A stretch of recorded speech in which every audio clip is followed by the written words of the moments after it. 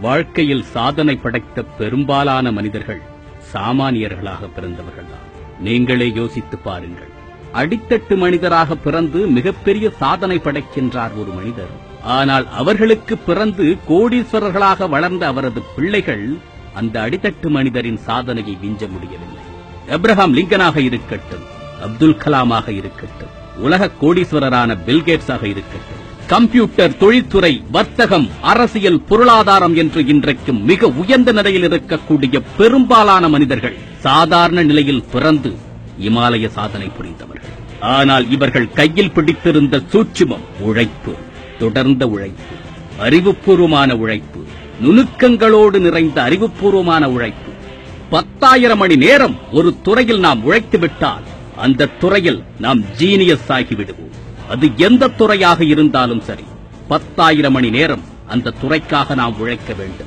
ஒரு நாளைக்கு எட்டு மணி நேரம் உழைப்பதாக எடுத்துக் கொண்டால் வருடத்தில் முன்னூறு நாட்களாவது வேலை செய்வதாக வைத்துக் கொண்டால் குறைந்தது நான்கு ஆண்டுகள் அந்த துறையில் போராட வேண்டும். அப்பொழுதுதான் அந்த துறையில் சாதனை என்பது துளிர்விடும். நண்பர்களே படிப்பறிவில்லாதவன் வாழ்க்கையில் உயர்ந்த நிலையை அடைந்து விடலாம். மிகப்பெரிய பின்புலமும் பலமும் இல்லாதவர்கள் கூட வாழ்க்கையில் உயர்ந்த நிலையை எய்துவிட முடியும். நற்சிந்தனைகளும் நல்ல குணங்களும் இல்லாதவர்கள் கூட வாழ்க்கையில் மிகப்பெரிய ஸ்தானத்தை அடைந்திருக்கின்றார்கள். ஆனால் எந்த ஒரு சாதனையாளனும் உழைக்காமல் அந்த சாதனையை பெற்றுவிடவில்லை என்பதை மாத்திரம் மனதில் வைத்துக் கொள்ளுங்கள்.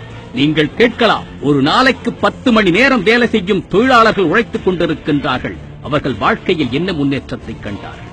ஒரு நாளைக்கு பத்து மணி நேரம் சுமை தூக்குகின்ற தொழிலாளி கூட கடுமையாக உழைத்துக் கொண்டுதான் இருக்கின்றார். அவர் வாழ்க்கையில் என்ன முன்னேற்றத்தை கண்டிருக்கிறார் என்று நீங்கள் கேட்கலாம். நண்பர்களே உடல் உழைப்பு என்பதை விட அறிவால் உழைப்பது என்பதுதான் முக்கியமானது.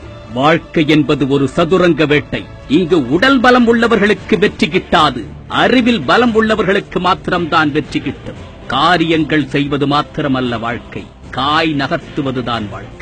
நம் எதிரில் நமக்கு இடையூறாக நிற்கின்ற அத்தனையும் நமது தடைக்கற்கள். அதை எப்படி சாதுரியமாக தகர்த்தெறிந்துவிட்டு முன்னேறுவது என்பதை யோசித்து யோசித்து ஒவ்வொரு அடியையும் எடுத்து வையுங்கள். சரியான நேரத்தில் முறையான முடிவுகளை எடுப்பவர்கள் மாத்திரமே வெற்றியாளர்கள். தனக்கு கிடைக்கக்கூடிய சந்தர்ப்பத்தை எல்லாம் வாய்ப்பாக பயன்படுத்திக் கொள்பவர்கள்தான் வெற்றியாளர்கள். ஒவ்வொரு மணித்துளியையும் சேமியுங்கள். ஒவ்வொரு மனிதனையும் சம்பாதிக்கத் தொடங்குங்கள். வெற்றி என்பது நிச்சயமாக உங்களை தேடி வரும். உடல் கேட்கும் ஆசைகளையும் மனம் தேடும் இச்சைகளையும் உங்கள் அறிவை கொண்டு கடிவாளமிடுங்கள். உங்களை இயக்குவது நீங்களாக மாத்திரமே இருக்க வேண்டும். நீங்கள் இயங்குவது உங்கள் சுய சிந்தனையிலும் உங்கள் அறிவாற்றலின் அடிப்படையிலுமே இயங்க வேண்டும். உங்கள் வெற்றியினை உறக்கச் சொல்லுங்கள். ஊர் முழுவதும் சொல்லுங்கள். அது உங்கள் மேல் உங்களுக்கு இருக்கும் தன்னம்பிக்கையை மேலும் மேலும் மேம்படுத்தும். உங்கள் தோல்விகளை உள் மனதில் கூட நினைத்து பார்க்காதீர்கள்.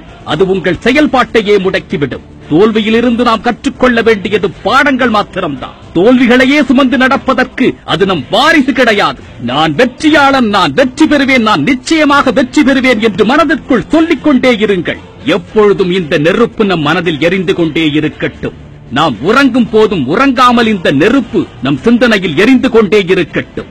வெற்றிக்கு நாள் குறிப்பது நம் கையில் தான் இருக்கிறது.